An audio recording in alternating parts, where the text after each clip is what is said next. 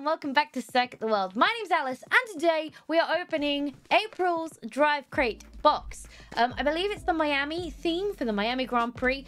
Um, so let's just get on inside it and take a look. Now, as I'm doing this, I just want to say Drive Crate's prices have gone up. Not for this box, but for next month's box. Which, I mean, I don't get it, and hopefully it makes sense when next month's box comes. But I just wanted to say something because they hid it in their email. It was right at the bottom. I didn't notice it when I first um, received the email. I only noticed it because a friend told me about it.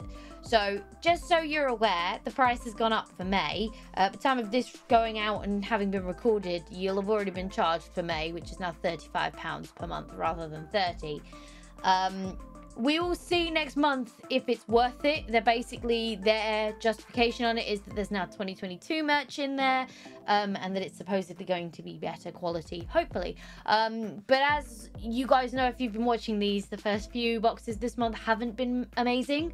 So let's see if this one is continuing in the step in the right direction we had in March, and then let's see next month if the five pound increase is worth it or if it's just an increase. Anyway, without further ado, I will let you have a look inside. -da. It feels heavier this time. Ooh. The hell is that? All right, let's have a let's have a gander in here and see what the hell is is going on. The book is actually squashed down the side here.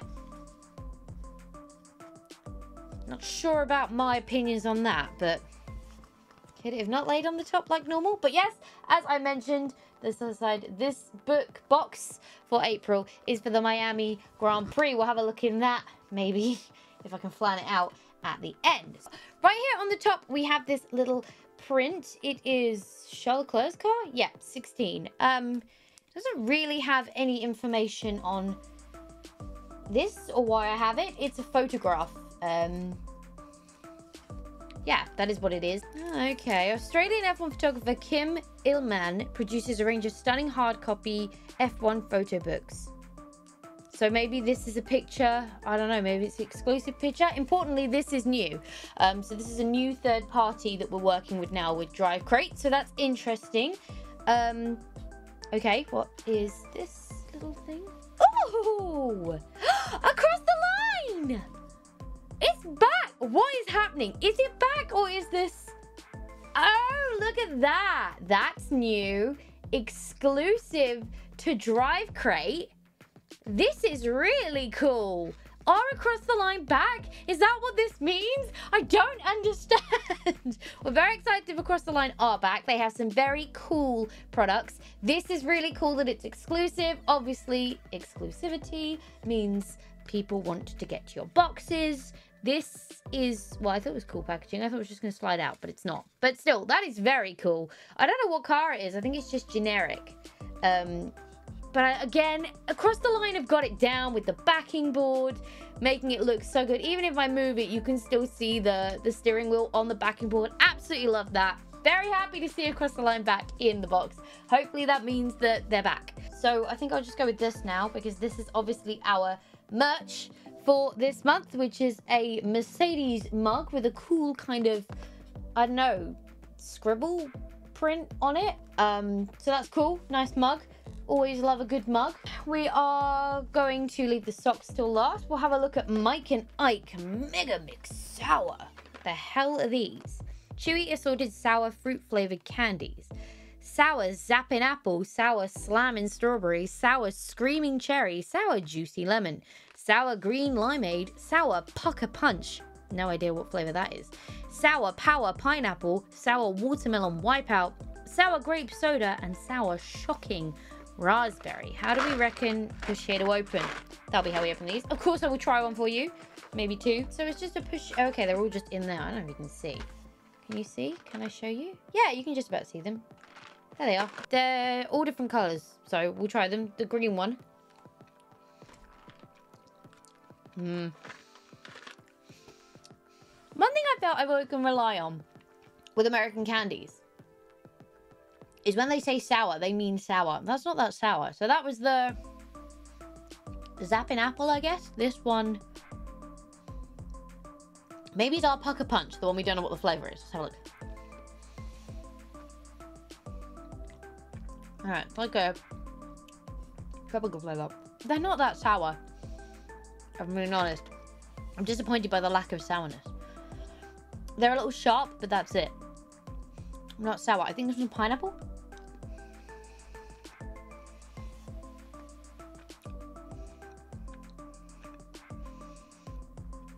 That was lemon and not sour at all.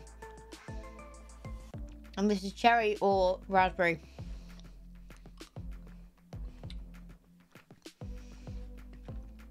Cherry. Mmm. They're gluten-free and fat-free though, so that's good, isn't it? Next we have Hershey's Cookie and Cream. This is feeling familiar. I definitely haven't had the Mike and Ike's before. I feel like I might have had this before in another box. If I have, I'm going to put the clip here of me having it. Wow, amazing. Let's have another taste. Because I feel like I've had Hershey's, but I know I've had this Hershey's. Maybe it's birthday cake or something. Hershey's chocolate.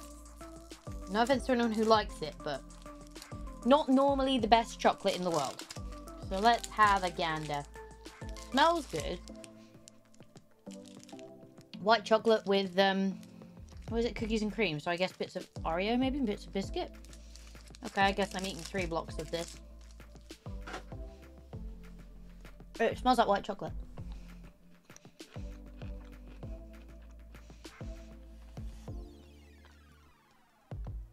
The biscuit flavour comes through more than the chocolate flavour, which is interesting. It's edible. It's nice enough. I'm not mad at it. Last product. Soggies! So these are more Drive Crate Originals. Do always love to see a Drive Crate Original in the box. Um, they've got like a, I guess the Miami skyline on the bottom. And then across the top or the middle, it says Miami. Yay. And then it's got this checkered flag effect at the top. I'm not this flexible. They're going to be a bit big. They're always a bit big for me um, in terms of the the socks, but I still have them and wear them. They look massive, but maybe looks can be deceiving. It feels like we've got more products this time. One, two, three, four, five, six. I just have six? It felt like there was seven. Could be going mad. Let's have a look. Let's see what was in the box. So, in the Miami April box, we had official Mercedes graffiti mug. Featuring the team's new graffiti pattern, this official team item is the perfect way to show your support for the eight-time champions. How do you think the Silver Arrows will perform in Miami? Drive Crate Original Miami Socks. Miami is a city of bold and vibrant colours. These socks are a great way to celebrate the latest addition to the calendar. You'll definitely stand out from the crowd wearing these. Across the line wheel pin. Exclusive to Drive Crate, this awesome enamel pin captures the complexity of a modern steering wheel in great detail. Perfect to add to your collection or attach to your backpack. Mike and Ike and Hershey's candy. These sweet and chewy candies provide a true taste of the United States. Hershey's have also been making delicious American chocolate since 1894. And finally, Kym Illman print. This great print by Australian F1 photographer Kym Illman captures Charles Leclerc in his Ferrari F1-75. Still don't really get the photo print, but other things in the book we have. Oh wait, there's probably a did you know at the beginning. There is. Did you know over 75 potential locations were considered for the race? One was to have a track run through the Port Miami tunnel. Did you know that, guys? So here is that page in case anyone wants to pause and read. I'll try and be still. And then moving through the book as we do. Oh, I've gone very red. The Sunshine State and Conquering the USA. Again, we will do the page pose for you to have a little read. Pause if you wish to read them. Apologies, my book is very curved. In fact, it is. That's unreadable. There we go. And uh, did you know, Miami is no stranger to top flight motorsport. Held, held on a banked oval course made of wooden planks, the first race to be called the Miami GP took place in 1926 before the track was destroyed by a hurricane seven months later. And on the back pages, we've got a nice image page. Is that another did you know? Nope. The new temporary circuit has been designed to have a permanent feel. I'm not sure they achieved that. But there's some nice pictures of the racetrack there. And then also the circuit layout with some distance and circuit stats. Um, in terms of steps in the right direction, I feel like they're they're nailing it on themes right now because they're doing the one thing I always said they needed to do, which was focus the boxes on one circuit. Um, again, it just feels more complete. We had that last time as well um, with the, I can't remember what race it was now, but it was a single circuit box. I remember thinking it's a single circuit box, um, which does just help make everything feel like it's not half connected. Oh, it was Australia was the last one we had. Um, really like that. So I think in terms of the theme, they're nailing it. I feel like in terms of the content, this feels better and it may be disillusioning because the mug box is so big but it just feels like I got more even though I've, I've still only got the six products. One two three four five six. Yeah there's still only six products but it feels it feels fuller it feels better it feels more worth the money you're paying. Now, again, I've said this before, we have to remember that just by including the merchandise they include, they are making the boxes more value for money than you pay for them. So in terms of that, even the ones we've had in the past that haven't been great, caps are like 20, 25, 30 quid, depending on what year it is. Um, so by the time you've added everything else in, even before the price raised to 35 quid, the 30 quid boxes we have been receiving have been value for money. They just haven't felt like it. And that's the difference this time. I'm not super happy with the fact that this got squished in the side. Uh, I'd have preferred that to be nicely laid on top as it normally is. But I think the variety of products is cool. I like, obviously, Drive Crate Originals, easy. I love the fact across the line seems to be back with a Drive Crate exclusive. Absolutely love that. And I certainly feel like if they can do more things like that, you again, the exclusivity, the things you can't get anywhere else, it just again adds more worth. In fact, I'm going to quickly Google across the line. I don't know. It doesn't feel like they're back. So I don't know whether the across the line pin is something that they've had for a while and just not put in the box. It's still a bit confusing with across the line, but it is lovely to see them back in the box. Um, we'll see if I know next month's box is based on the Monaco Grand Prix. So again, really happy to hear that they're focusing on one circuit. We will be critical to see if that five pound increase is justified. Um, also, just going to remind that that was hidden quite deep in the email. It was right at the bottom, past the preview and the written out preview of what the next box was going to be. So, to a point where I saw the next week, the next month's theme and stopped reading the email. And I'm pretty confident I'm not alone in that. So, I'm a little bit disappointed with the kind of sly way that was added into the email. I'd have preferred that to be at the top because it is a thing. It is a big thing to make a, a kind of a song and a dance about, and hiding it or putting it in that way makes it feels like it was hidden. It feels like they're getting back in the groove. Seeing things like um, Kym Illman's photograph, which is albeit slightly confusing, but you know, I mean, it didn't really have a Miami, well, the Miami link being he was championship leader going into this race. Um, but at least we're seeing new names. I think that's important. That means new companies are on board. You've got promo codes from them, which means they're probably a little bit more long-term invested um, and stuff. But again, this this move towards the originals, this move towards bringing stuff in-house, you don't necessarily have to rely on third party companies delivering a product for you, I think is a good move for them. I think for the longevity of the box. However, favorites and least favorites, I'm gonna have to go with it. My favorite is going to be this enamel pin. Obviously, super excited to see an across the line product back in. I love the fact that it's exclusive to Drive Crate, and I actually think the pin in itself is super awesome. The whole product feels very cool, very um, high end. Think that's a good definition for it. It's probably not quite what I was going for, but it feels very high quality, very nice. Um, and it's something I definitely want to find somewhere to display because it's very cool. My least favorite, and I got nothing wrong with the product itself, but it is going to be this photo just because I don't get it. I feel like it's uh it's it's it feels like it's hinging a lot more on go get the book. Um, and I would give you the code, but I'm pretty confident that the code will have expired by the time this goes live. Um, so there's probably no point in giving you the code. If it was like a picture of the Miami circuit or something, that would have made a little bit more sense. Though I'm probably, I'm quietly confident considering the back pages, they didn't have access to that prior to. Um, actually going to the race. Uh, so, you know, it's it is what it is. And I, I, I don't mind the print. I'm, I'm not mad at it. I really hope the Drive Crate, especially with this price increase, start enabling people to pick preferences because I now have another Mercedes mug and I'm not a Mercedes fan and I'm not going to use the mug. So it's, it's oh, it kind of reverts back to that. This is the value of the box.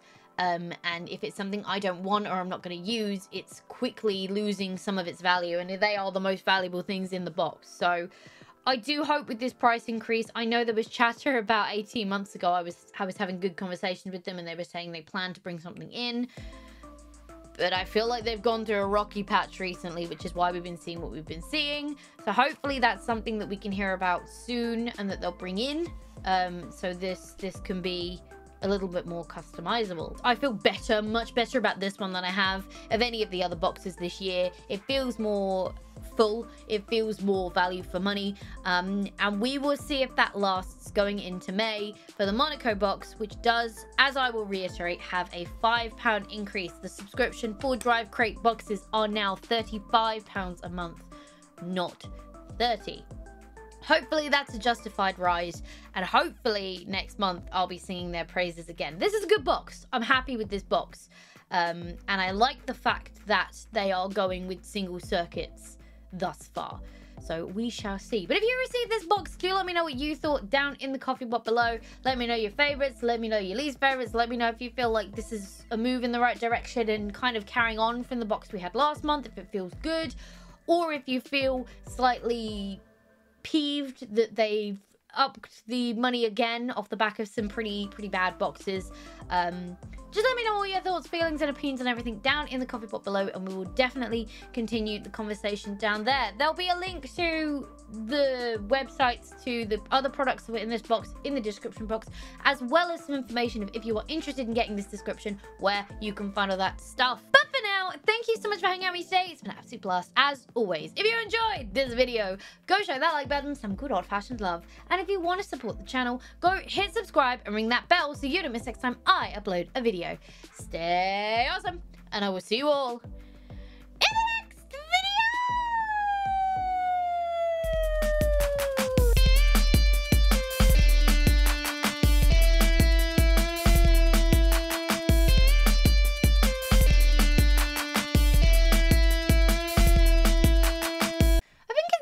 changing the outro slash intro just in general. Just have been doing it for a while. It's the same thing. It's been the same thing since the start of the channel. Let me know your thoughts.